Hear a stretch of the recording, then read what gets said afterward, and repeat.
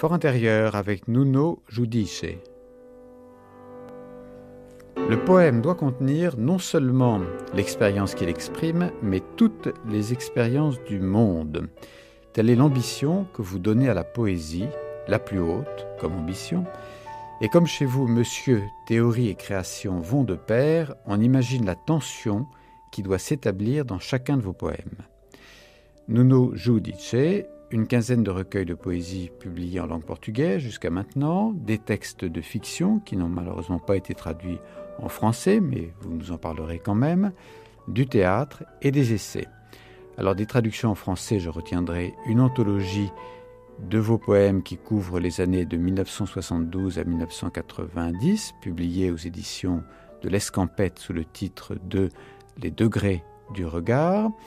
Je retiendrai également dans l'excellente collection Poésie Gallimard, publiée en 1996, Un chant dans l'épaisseur du temps, et puis le dernier recueil, La condescendance de l'être, aux éditions Le Taillis Prêt en Belgique en 98, traduit par Michel Chandaigne. Je retiendrai également un essai, Voyage dans un siècle de littérature portugaise, également aux éditions de l'Escampette. Alors vous êtes né en 1949 dans le sud du Portugal, l'Algarve. Vous vous êtes spécialisé en philologie romane. Vous avez eu une importante activité de critique. Vous avez fondé, animé, participé à l'existence de plusieurs revues. Vous avez vécu six ans en Suisse, à Berne, avec votre femme et vos trois enfants. Vous avez soutenu une thèse de doctorat et vous avez été enseignant à l'Université nouvelle de Lisbonne. Et depuis deux ans, vous êtes conseiller culturel du Portugal à Paris. En voilà des activités. Et en même temps, j'allais encore en oublier une, vous dirigez la revue de poésie Tabacaria. Alors nous allons commencer par le début, les fondations, comme toujours, c'est-à-dire les années de formation, quel était le contexte familial les, les paysages, les auteurs qui ont fait que vous êtes devenu le poète que vous êtes aujourd'hui. Oui, il y a deux mondes très différents qui ont été très importants pour moi pendant mon enfance et adolescence. Euh, le monde de, la campagne, euh, donc lié à mon village en Algarve, et puis le monde de la ville où j'ai fait mes études, donc Lisbonne. Le village pour moi était très important parce que il y avait un décor qui passe euh, souvent dans mes poèmes, le décor du sud du Portugal où il y a une végétation qui est spécifique avec des amandiers, des figuiers, la montagne euh, et la mer. Donc euh, mon village était entre cette montagne qui est très belle, et puis les plages. Et là, euh, j'ai beaucoup appris avec, par exemple, ma grand-mère qui avait toute cette sagesse de paysanne, des histoires, des légendes, euh, des dictons qui me racontaient tout ça. Je n'ai pas appris par cœur, malheureusement, j'appartiens à une génération de l'écriture. Euh, pas de l'oralité, mais euh, d'une certaine façon, j'étais dans cette frontière entre deux cultures. Puis il y a la ville, et, là, bon, mon père euh, habitait en ville. il était ingénieur, donc rien lié aux lettres. Mais il y avait chez moi une bibliothèque où il y avait beaucoup de poésie. Et j'ai eu la chance, depuis euh, que j'étais enfant, de pouvoir avoir accès à ces livres et de, lire euh, la meilleure poésie portugaise du 19e. Euh, les romantiques, les, les, hommes de la fin du 19e, des poètes un peu oubliés aujourd'hui comme Guerra Junqueiro qui avait une poésie très anticléricale, républicaine, mais qui était un peu notre Baudelaire entre Baudelaire et Hugo. Donc j'ai appris à, écrire la poésie avec euh, ces maîtres, euh, une poésie euh, avec un langage qui est un langage bon, lié donc à, ce côté prophétique, à ce côté aussi romantique. Et puis, ce n'est que vers les 15-16 ans que j'ai découvert Fernando Pessoa et son hétéronyme avant-gardiste Albert Campus. Et là, ça a été une autre découverte, une autre révélation qui a beaucoup influencé mon évolution en tant qu'écrivain, parce que j'avais commencé à écrire la poésie vers les 8 ans, 8-9 ans. Mais beaucoup d'enfants écrivent de la poésie, mais est-ce que chez vous, il y avait un engagement si profond, si total, que vous saviez que ça allait être euh, votre vie même? Oui, je crois que j'ai toujours su ça. Ah oui, dès l'enfance. Et sans aucune influence du milieu extérieur. Parce que, non, malgré la présence de ces livres poétiques, apparemment, vous n'étiez pas soutenu par un contexte qui vous poussait à devenir poète. Euh, c'est vrai, mais en même temps, je n'ai pas été contrarié quand j'ai choisi les lettres. Euh, on ne m'a posé aucune résistance et j'ai des amis qui voulaient le faire, mais dont les parents les ont obligés à prendre des métiers plus, euh, disons, plus sérieux, les sciences, le droit, des choses comme ça. Donc, euh, je crois que euh, là aussi, j'ai eu un peu de chance parce que euh, bon, j'avais cette vocation et j'ai toujours pu la, suivre sans opposition. Et en même temps, il y avait un contexte où la poésie et la littérature tout de même étaient très respectées parce qu'au Portugal de cette époque, la littérature était une sorte de possibilité d'exprimer, ou la seule possibilité d'exprimer ce qu'on ne pouvait pas dire autrement, c'est-à-dire euh, le rêve d'une liberté, de lutte contre euh, la dictature. Je crois que ça aussi m'a aidé. Bien sûr, j'ai à partir du moment où j'ai commencé à publier, euh, quand j'avais 16-17 ans, dans des journaux, j'ai fait un choix qui était un choix plutôt esthétique. Donc, euh, j'ai toujours euh, résisté à faire la poésie politique, la poésie engagée. et ça, ça a été un point d'affirmation de ma génération qui refusait ce que les générations antérieures avaient fait, qui était de se soumettre euh, aux circonstances euh, politiques. Et donc, quand il faisait de la poésie ou de la littérature, même si elle était contre le régime de Salazar, euh, d'une certaine façon, ils étaient dans ce système. Ils n'avaient pas le choix. Donc, pour moi, la liberté, c'était d'écrire autrement écrire autrement, c'était écrire d'une façon qui ne tenait pas en compte ces conditions.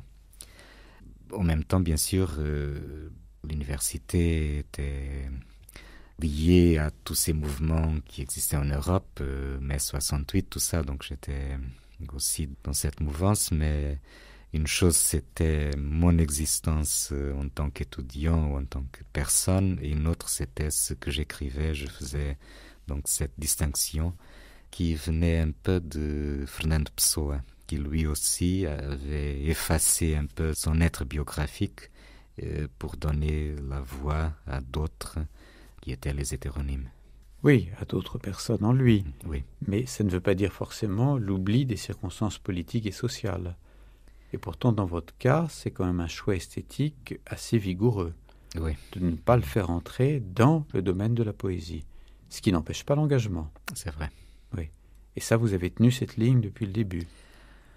Oui, disons jusqu'à un certain moment, euh, jusqu'à des années plus récentes, où euh, lorsque je parle de choses, de la réalité du monde réel, de la politique, etc., ou même de ma biographie, euh, ça peut être lu d'une façon normale, c'est-à-dire on, vit en ce moment au Portugal une situation où on peut très bien faire que, la biographie puisse passer dans la poésie, ce qui n'était pas du tout le cas euh, dans ces années.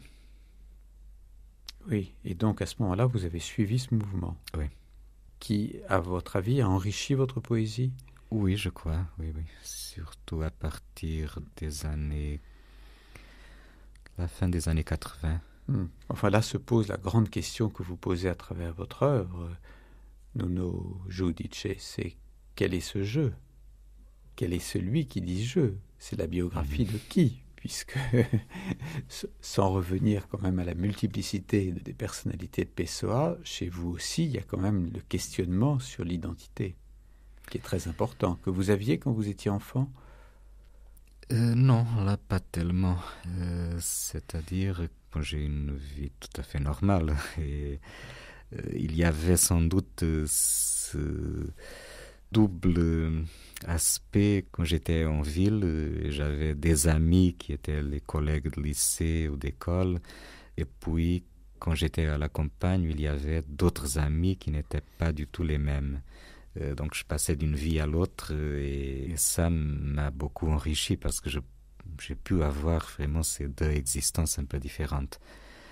Mais, ça n'a pas du tout produit ce que euh, So a fait dans, dans l'hétéronymie. Par contre, dans mon premier livre, de 72, j'ai un poème où je dis que la poésie est le théâtre.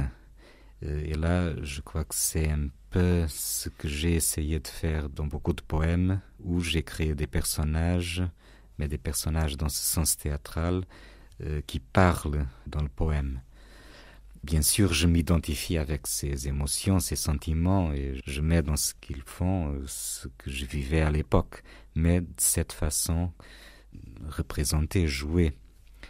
D'autre part, il y a un autre aspect qui comptait beaucoup, c'était le côté de l'écriture, où j'écrivais aussi un peu en me soumettant à la poésie elle-même, c'est-à-dire en ne forçant pas le poème à dire des choses que je pourrais avoir aimé dire, mais parfois le poème suivait des directions auxquelles je ne m'attendais pas et je ne faisais rien pour contrarier ça. Ah, la question est importante, là.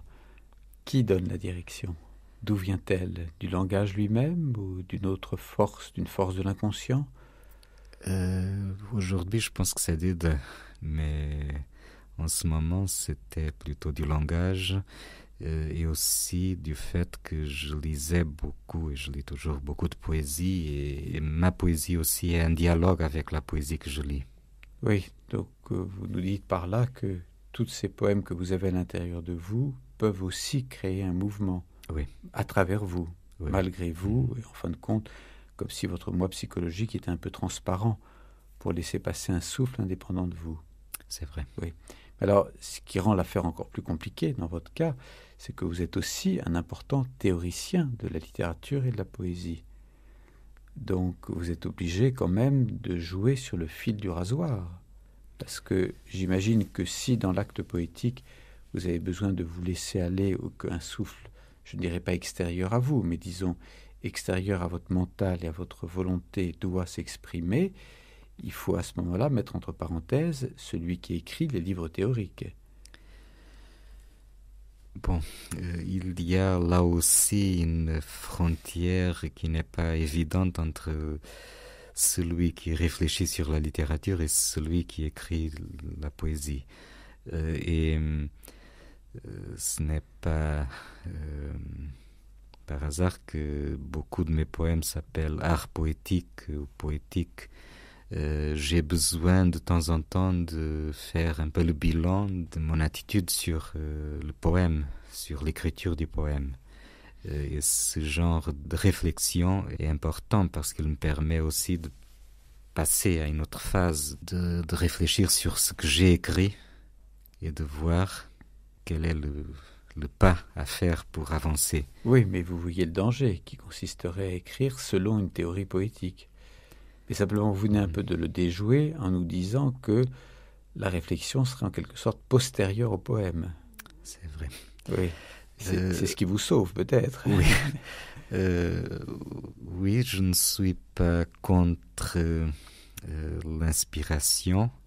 Il y a des poèmes qui suivent, disons, une logique que, je peux, d'une certaine façon, contrôler. Ce sont des poèmes un peu narratifs euh, ou descriptifs, des poèmes qui parlent du paysage, de la mémoire, euh, ou quand je, parle de personnages littéraires ou autres. Donc là, euh, ce sont des poèmes où je sens que je suis une ligne qui est une ligne de, euh, de raisonnement et où je domine, disons, le chemin du poème. Il y a d'autres poèmes, par contre, qui ne sont pas dictés comme cela arrivait aux surréalistes, euh, mais qui viennent, je ne sais pas d'où. Euh, donc j'ai ce, double mouvement aussi chez moi. Je crois qu'il y a toujours, disons, euh, une oscillation entre les deux. Euh, et c'est pour ça que euh, même si j'écris sur la poésie et si j'essaie de rationaliser les choses, quand j'écris, le, poète en moi échappe toujours, disons, à, à ce domaine théorique. Oui, vous lui avez gardé une place en quelque sorte inexpugnable, hein, où on ne peut pas l'atteindre. Oui. Celui qui est poète en vous. Oui. Alors vous avez vécu donc plusieurs années, 5-6 ans en Suisse. Est-ce que cette expérience a, a, été enrichissante et dans quel domaine?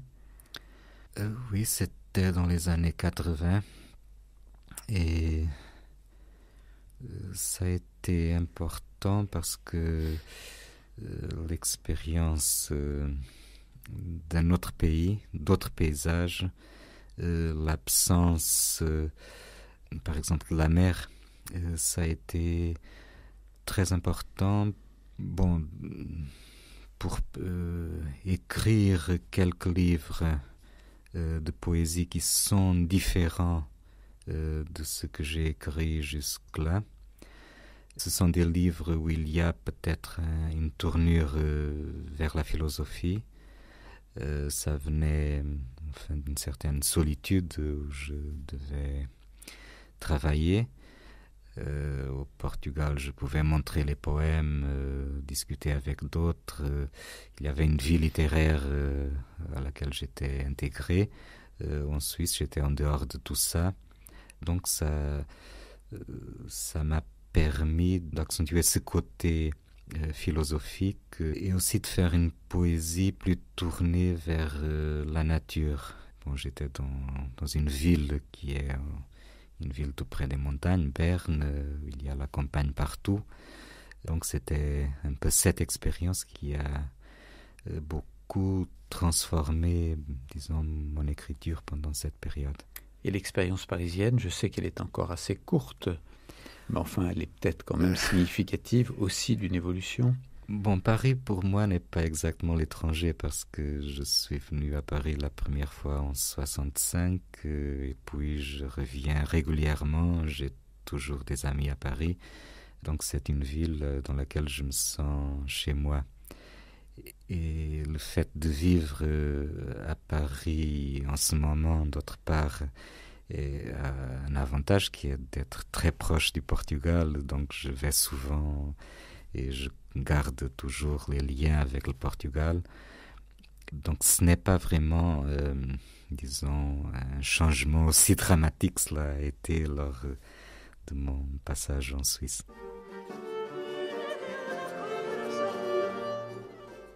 Nuno Giudice. Alors nous ouvrons maintenant votre euh, anthologie qui été publiée aux éditions de l'Escampette sous le titre Les degrés du regard. Prenons un recueil que j'aime particulièrement, qui a d'ailleurs un très beau titre, dans les bras de la lumière exiguë. Et essayons d'aller comme ça vers la, la genèse de d'où vous est venue cette idée, ce titre et le contenu de ce recueil. C'est un recueil publié en 75, si je ne trompe pas. Et là, il y a un l'influence de cette période qui est la période immédiatement postérieure à la révolution de 74. Donc c'est un livre où d'un côté je fais quelques expériences par exemple de poèmes en prose, de poèmes qui euh, enfin, vont un peu dans la ligne un peu surréaliste. Un des aspects du livre, mais il y a un autre, et ça va devenir aussi important dans les livres postérieurs, qui est de reprendre la tradition poétique portugaise, par exemple le baroque, par exemple aussi quelques poèmes ou quelques poètes du 19e et essayer de leur donner une forme moderne, voir comment on peut enfin, ressusciter redonner vie à tout ça. Et puis il y a un troisième aspect qui est l'aspect de la mémoire. Euh, et cette mémoire est la mémoire de ce qui était avant le 25 avril, avant la Révolution, euh, un pays où on vivait, disons, euh, fermé, et cet enfermement avait un côté infernal, mais aussi du fait que c'était lié à ma mémoire d'enfance euh, et à beaucoup de souvenirs qui m'ont servi, disons, à faire la matière de, ma poésie, euh, ont été très importants.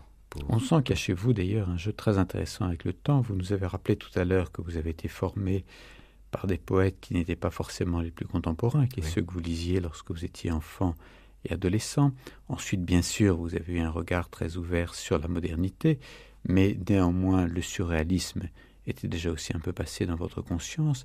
Et puis, au fur et à mesure où on lit vos recueils, on s'aperçoit que la quasi-totalité de la culture occidentale peut être présente, peut être appelée, peut être intégrée.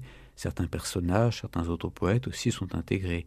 Il y a donc chez vous quand même cette ambition d'essayer de créer une sorte de poésie totale qui intègre à la fois votre propre itinéraire et celui des autres époques et des autres poètes. Oui, et ça vient euh, de ma formation parce que je lisais tout euh, ce que j'avais enfin chez moi ou que je pouvais obtenir et ça allait de, la divine comédie de Dante jusqu'au au grec euh, l'Énéide, l'Odyssée, l'Élusiade, l'épopée portugaise, des livres d'histoire, euh, euh, Alexandre Dumas. Donc il y a euh, vraiment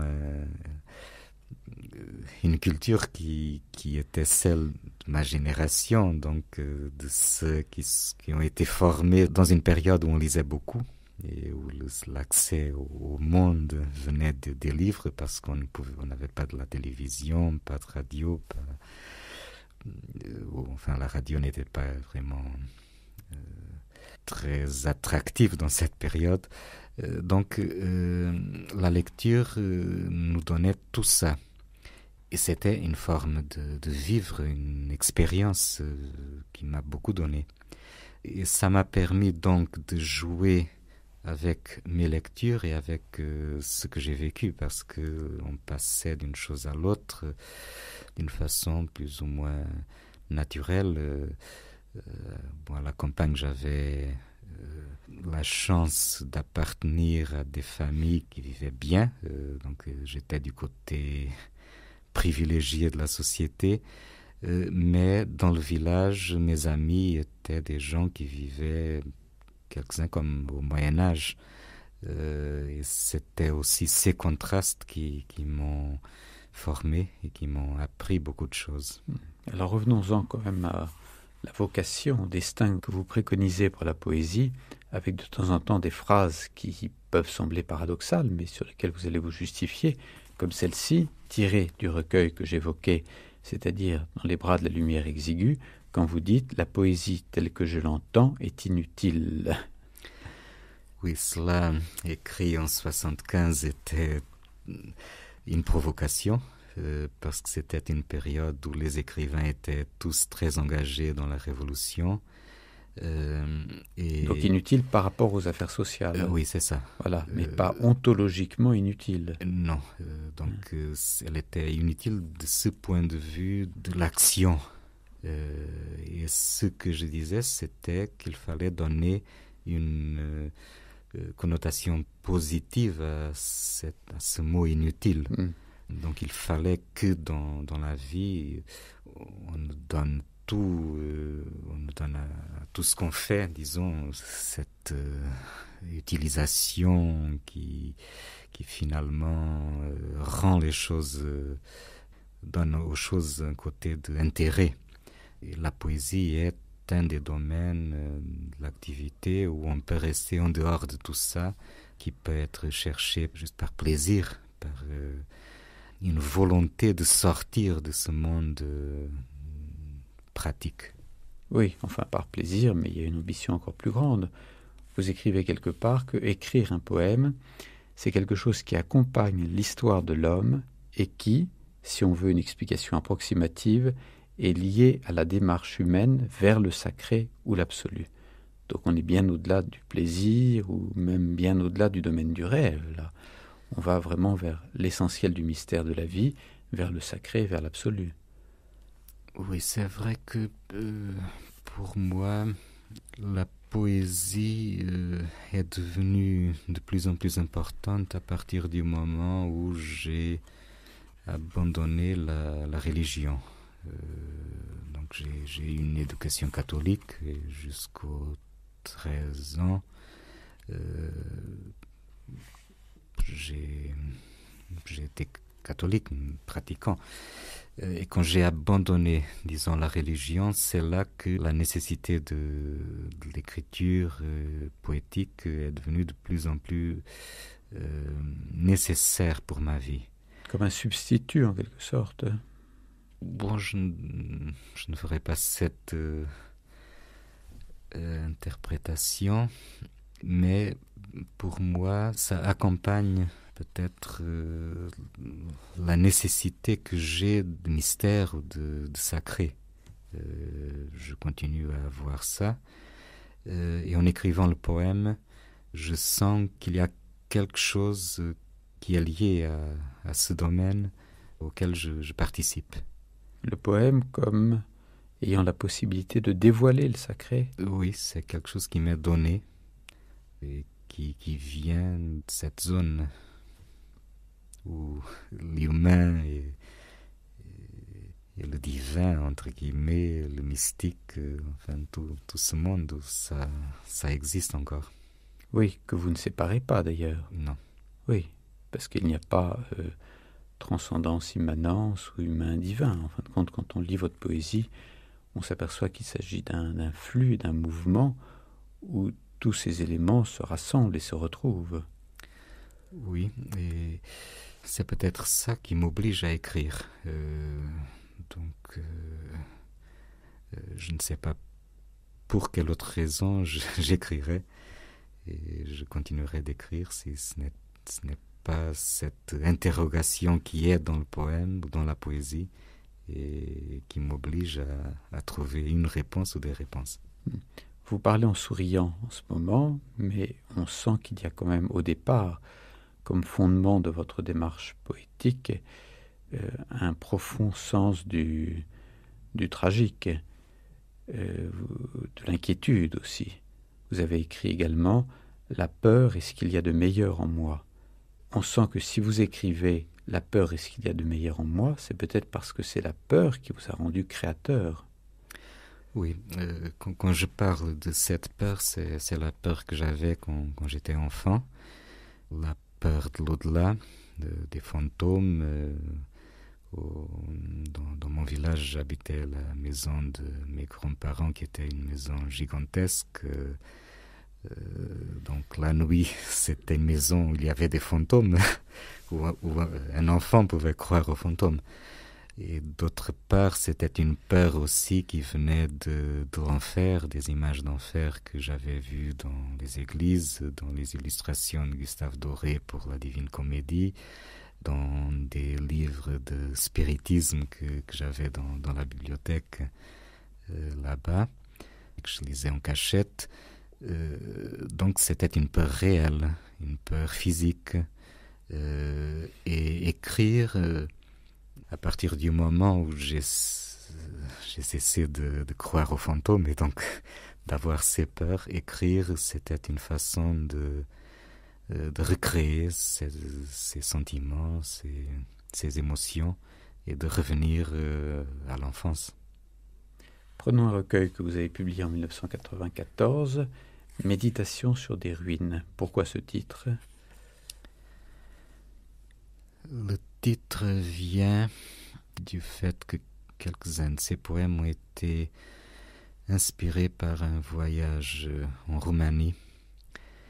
Et il y a eu une sorte d'anecdote dans ce voyage parce qu'on nous a amené à voir les ruines d'une ville romaine euh, qui était pas loin du delta du Danube. Et quand on est arrivé là, euh, c'était la nuit. Donc on ne voyait rien, mais le guide a tenu à nous amener à, cet endroit et à dire là c'est la maison, je sais pas qui, là il y a des fresques, etc. Donc on n'a rien vu, mais euh, je crois que c'est la meilleure façon de voir, euh, c'est de voir le passé, c'est de l'imaginer et, pas de voir des ruines.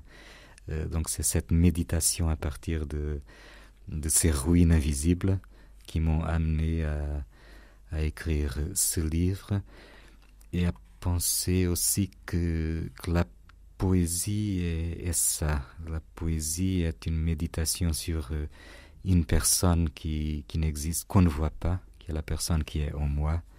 Euh, et, écrire, comme ce guide qui décrivait les, choses, euh, écrire, c'est une description de cet être euh, qu'on ne verra jamais, mais qui, qui existe, qui est, qui est chez, chez nous.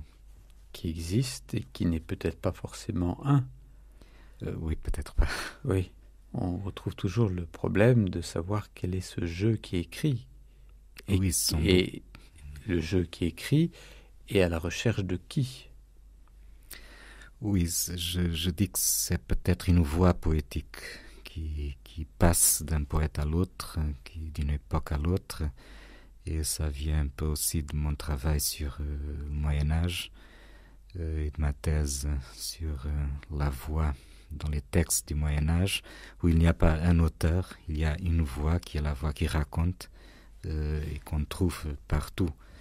Donc dans le poème, il y a aussi cette voix du poème qui peut à un certain moment se confondre avec ma voix, mais que je sais qu'il va durer au-delà de ma voix, et que mmh. d'autres vont la reprendre et vont écrire à partir d'elle. Voilà, on est à l'encontre d'une idée très solidement établie aujourd'hui, qui est celle d'une individualité séparée des autres puisqu'en fin de compte, tout le travail serait d'un effacement de ce moi le plus individuel pour laisser passer quelque chose d'impersonnel. Oui. Cette voix qui vient de loin et qui, et qui va vers l'avenir, donc qui nous, qui nous dépasse considérablement. Oui, euh, euh je crois que chaque poème est une forme de donner euh, expression à cette voix. Et c'est aussi pour ça que quand, quand je finis d'écrire le poème, je me sens obligé de le lire à, haute voix. Et c'est toujours une surprise parce que ce que j'écoute m'apporte des choses que je, je, ne connais pas au moment où j'écris et au moment où je lis le poème après l'avoir écrit. En, oui, il, y a un travail, il y a un travail de mise à distance, de oui. découverte oui, de ce qui a ça. été fait, du processus même mmh. de création et puis de mise à distance. Alors nous allons prendre dans ce recueil, qui a été donc traduit en français dans la collection de poésie Gallimard, nous allons prendre un texte que vous avez vous-même choisi, Paradoxe, et nous allons écouter votre lecture d'abord en français et ensuite en portugais. Paradoxe. Les fenêtres qui se brisent n'ont pas de vitres. Je leur jette des pierres et le bruit de verre qui se brise vient du geste que je fais et non des vitres qui se brisent sur les fenêtres sans vitres. Mais si je ne jette pas de pierre, si je reste les mains derrière mon dos et la pierre serrée dans ma main, la fenêtre commence à battre comme s'il y avait du vent, et elle m'oblige à faire le geste de jeter la pierre pour que les vitres se brisent dans la fenêtre sans vitre.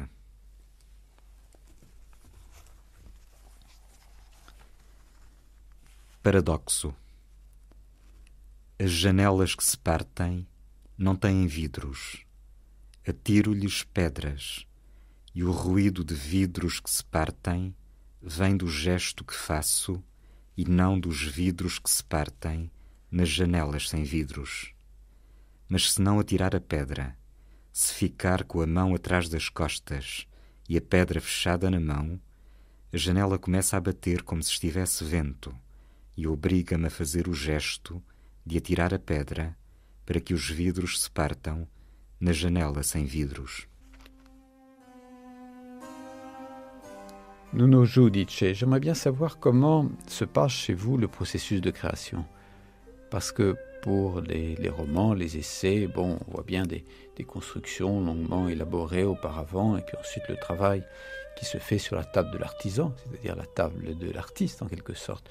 Pour un poème, et surtout chez vous, avec cette ambition quand même très élevée, que chaque poème soit à la fois l'expression de cette voix qui vient peut-être de loin et en même temps qui embrasse le monde, à partir de quel moment euh, les mots viennent-ils? Dans quelles circonstances? Êtes-vous assis à votre table de travail? Êtes-vous en train de marcher? Êtes-vous en train de rêver? Bon, pour moi, la, poésie est une discipline, donc je m'oblige tous les jours, ou, pratiquement tous les jours, à m'asseoir et à écrire. Euh, donc ça, ça ne vient pas de d'aucune euh, inspiration, d'aucun moment où, où, le poème euh, surgit. Donc c'est moi qui, qui, m'oblige à le chercher, euh, assis devant. En tâtonnant beaucoup Non, ça, c'est très rapide quand, quand je commence.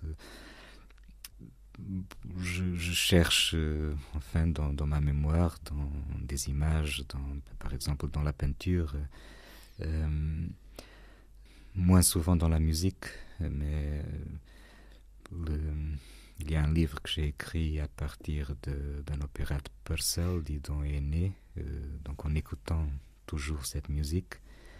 Mais ce sont surtout des, des, des mémoires de gens, de visages, de circonstances, de petits, petites choses dans la vie qui vont déclencher le, le poème, qui, qui après peut se développer dans beaucoup de directions, s'éloignant beaucoup de, du point de départ. Parce qu'il y a quand même aussi une double source qui est soit la source de la culture, mmh. faisant référence effectivement à ce qui a déjà été écrit auparavant, mmh. Ou bien la source de l'expérience que vous venez d'évoquer. Oui. Et quelquefois les deux peuvent se mêler. À partir d'un élément de culture, vous allez euh, inscrire, euh, mêler quelque chose oui, du, aussi, du vécu. Mm-hmm. Je suis un très mauvais lecteur de poésie parce que quand je commence à lire euh, un poème ou un poète que, que j'aime, j'interromps pour écrire un poème qui peut m'être inspiré par ce que je viens de lire. Enfin, ce ne sont pas beaucoup de poètes que, que je lis, je, ce sont pratiquement toujours les mêmes. Lesquels Je reprends euh, Rilke, Eliot, plus récemment Emily Dickinson, euh, puis quelques poètes portugais, Georges Sen, Pessoa, bien, bien, sûr, sûr oui, oui. toujours. Là, je Oui. crois que vous ne l'avez pas quitté, lui. Non, non, pas du tout. Pas du tout. Hmm. Il est même présent dans vos textes théoriques. Enfin, on a l'impression que, que sa présence est forte. Elle n'est pas trop forte? Non, non, parce qu'elle a été trop forte dans l'adolescence, donc j'ai dû me débarrasser de lui. Euh, et à partir du moment où j'ai trouvé, disons, ma, voix, euh, j'ai pu euh, y revenir. Euh, mais c'est surtout Pso euh, Albert Campos que, j'aime. Euh, donc les autres euh, me disent moins. Mais là, c'est quelqu'un que- auquel je reviens sans cesse. Quelle sorte de vers utilisez-vous? Euh, J'aime les vers longs, euh, des poèmes longs, ou bien quand ce sont des poèmes courts, ce sont des formes plutôt traditionnelles comme le sonnet. Mais j'évite le sonnet euh, parce que c'est trop facile, c'est-à-dire il y a une habitude euh, qui fait que si je voulais écrire euh, toujours des sonnets, enfin ça deviendrait répétitif ou académique. Donc euh, les sonnets sont des moments exceptionnels dans mes livres. Mais c'est aussi un côté lyrique que j'aime beaucoup parce que c'est dans la tradition portugaise et je peux revenir de temps en temps à cette tradition. Oui, la tradition donc est, est chez vous très importante, même Oui. si euh, assez résolument, vous vous inscrivez dans une modernité. Mais il n'y a pas de tension là. Les choses se font assez naturellement, j'ai l'impression assez harmonieusement. Oui, oui. oui c'est une tradition parce que peut-être plus important que Pso est le Camões, euh, le Camões lyrique. Hmm. Euh, L'auteur des Louisiades. Oui, mais les Louisiades, aujourd'hui, je crois que je serais incapable de, les relire. Euh, mais pas le poète lyrique, là, je reviens sans cesse euh, à ses poèmes, et c'est un des plus grands poètes euh, de l'humanité, pour moi. Vous avez étudié le Moyen Âge, vous nous avez donné un indice tout à l'heure en disant que chez vous, ce qui vous intéressait, c'était cette voix en quelque sorte impersonnelle qui passait de personne en personne, mais toute la poésie médiévale est imprégnée d'une foi intense. Or, nous avons vu que mhm. chez vous, la foi religieuse euh, est restée plus qu'incertaine, même en tout cas ne, prend pas les formes traditionnelles euh, d'une religion instituée, mais que à l'intérieur du poème, vous allez retrouver le sacré. Alors j'aimerais y voir un peu plus clair dans votre relation avec le, religieux, le sacré, le spirituel. Oui, pour, euh, le sacré euh, dans ma poésie est d'une certaine façon une fiction. Euh, je parle de Dieu, et Dieu est un personnage.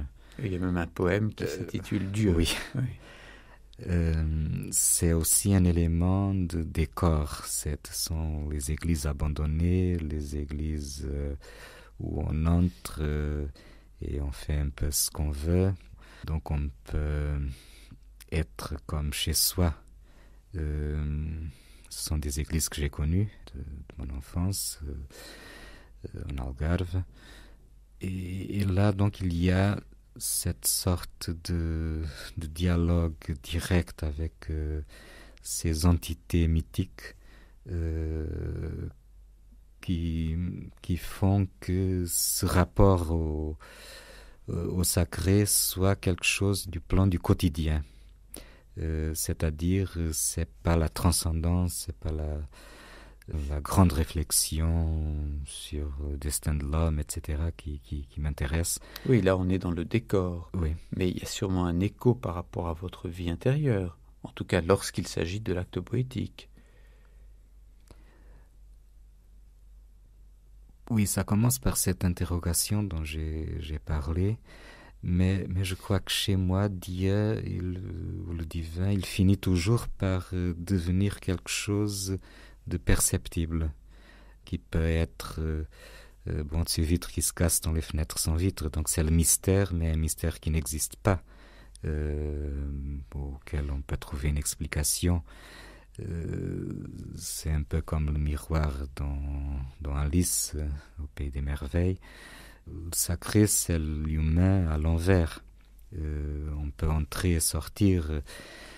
Il y a bien sûr euh, le, mystère qui, qui n'a pas de réponse et je ne, cherche, je, ne cherche pas à donner des réponses, mais je cherche à que le poème puisse fonctionner comme euh, une sorte de point de départ pour un voyage.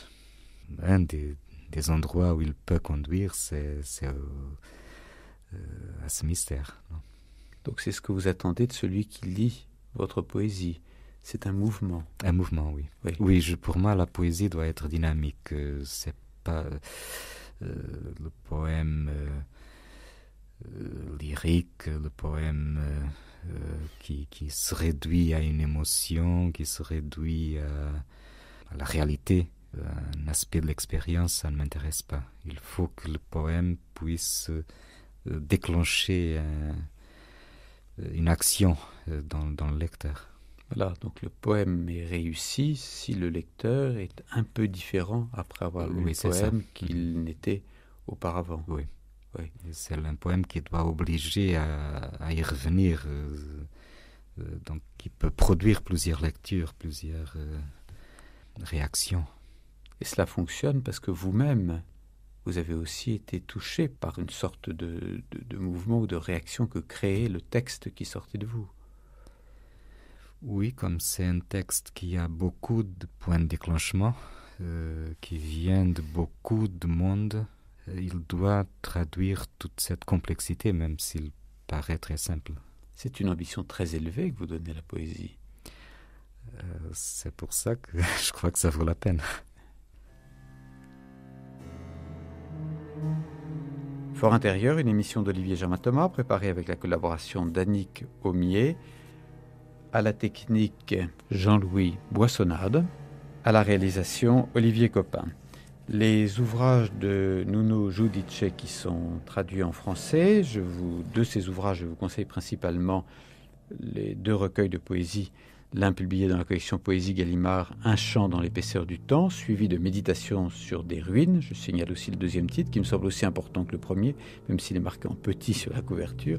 Et c'est extrait de Méditation sur des ruines que l'auteur nous a lu un texte. Et auparavant, Les degrés du regard, une anthologie préfacée par Michel Host, publiée aux éditions L'Escampette. Je signale également donc un texte, un essai chez vous, Voyage dans un siècle de littérature portugaise, publié également aux éditions L'Escampette. Et je signale aussi que vous avez publié des romans, vous en aviez publié il y a un certain nombre d'années, vous en avez publié récemment, mais ils n'existent qu'en portugais. Alors nous n'en avons pas parlé et j'espère que nous aurons un jour l'occasion de les découvrir en langue française.